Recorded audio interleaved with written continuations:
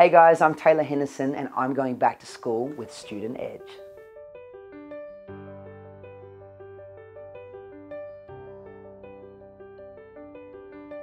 Hi, I'm Simon Miraudo, and today we're going back to school with Taylor Henderson. Yo, how's it going? Good, thanks, Thanks for, for having me, oh, thanks for coming in. My pleasure. Tell us what were you like as a student? I mean, I love school because I I don't know. I always enjoy. I came from a really small town. I came from a. I went to a primary school with only thirty kids. So, I uh, there was like six grade sixes. No, three grade sixes who were all school captains. That was hilarious. So, and then high school um, was a little bit bigger. It was about just under a thousand kids. But um, yeah, I don't know. I, I um.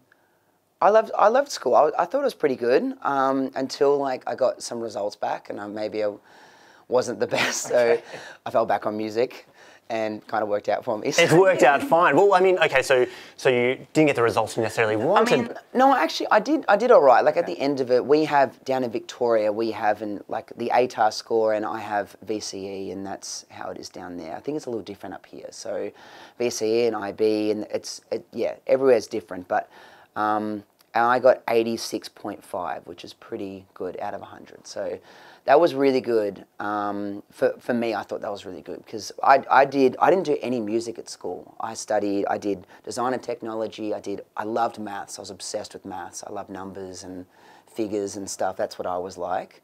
Um, English wasn't my forte. That was really bad. But only I don't know why. But see, I I love lyrics. I love writing music. But when it came to English, and I, I don't know, wasn't the best at it. But um, I just I loved school, and I loved. I loved. I had really, a really close group of friends and stuff, and I'm still we still keep in touch all the time. We all grabbed dinner about a week ago, all of us from school, and yeah, so it was yeah, it's always been a good spot. so when did music come into it then for you if you didn't study it at school? Was that even an option to study music? To be honest, no, no, I never made it an option because I didn't think it was something that I would do. You know, I, I, I wanted to be a builder. That's what I, I did. That's what I looked at. So, and then I went to, then I started after school. I, I couldn't kind of find, I, I mean, I loved building and I, I, I studied that. I did design and technology.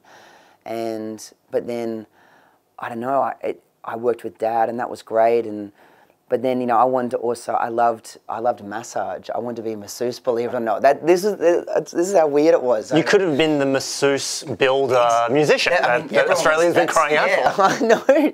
Australia's been wanting this, you know. but um, I, I guess music was something I felt that wasn't reachable. And I think my dad always said to me, he always said, you know, you, you can only make it if you're, you know, you can, you can only be on radio if you're, you're Justin Bieber or Katy Perry or Taylor Swift. And that, that's, you know, he always kind of belittled that dream of me. And uh, in, you know, my dad is awesome. Like I'm really close with my dad, but he keeps me grounded like that. But and he's always normally right. But I felt like I just wanted to prove that wrong, you know. And I really wanted to push myself and and try hard. So I, I didn't study music. I studied everything else as kind of the safe options. But I tried really hard with music, and I got signed three years ago. And I've just been on a, a national tour all around all around Australia, with a new album coming out, and it's just been incredible. Yeah. Absolutely. And you've had a couple of number one albums, so it's obviously Yeah. worked out well. I guess when did you kind of realize, no, this is what I have to do? And, and did you kind of have to have that conversation with your dad or even with friends to say, I'm actually going to have a crack at this? Yeah, I, well, basically, like like like like I said, I, I was doing a massage course, right? I did that, and then my mate said to me, "You need to stop doing that," because I'm like, "Why?" They, they were- they were saying to me, they feel like it, I was taking it taking easy easy way out to you know not focus on music, and so they basically talked me into doing doing music. So I tried it, and then basically when X Factor happened um, I got off X Factor and it changed my life. So basically, I, I, was, I live out of a suitcase now. I'm always flying around the place.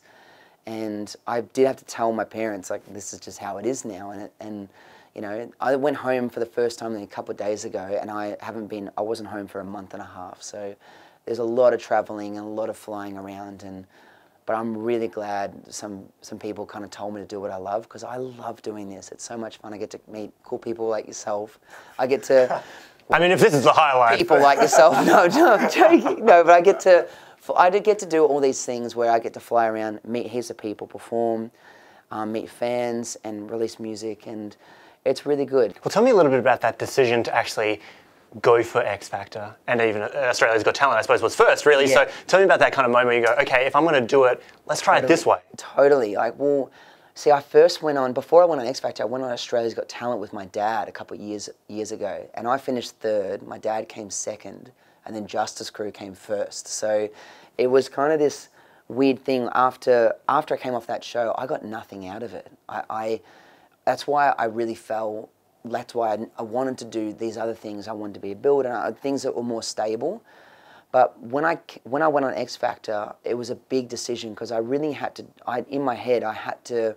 I had to either win it or come second. Because if I came third on the other show, you know, I really had to. I really had to go hard. So it is.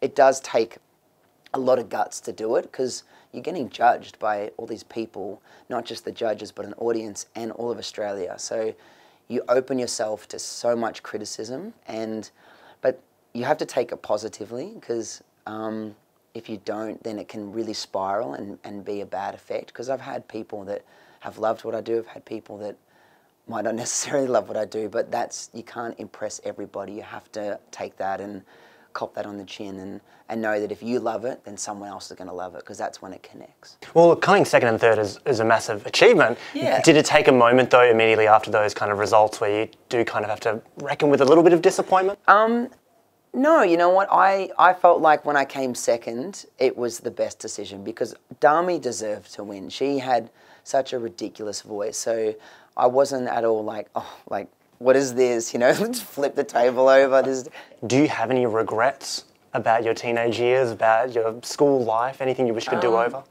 regrets? I, I don't know. I think at the time when something bad happens you feel like I should that should never have happened you know? And as a kid you know i'm 23 now and i'm to be honest like you know you still make mistakes. That's how it is. But um, that's the nature of the beast. That's life. But i think if you don't look back at it and learn from it i think then that's the biggest mistake. Uh, Once you make something, you're young. That's going to happen. You have to accept that's how it is. And I was brought up in a really like Christian, really strict vibe. You know, I had a I, I in this church that, you know, you're if you if you did something wrong, you you felt really guilty for it. And I've learned that over the years that if something happens, you have to accept that's how it happens. You just have to have grace and understand that you can move on.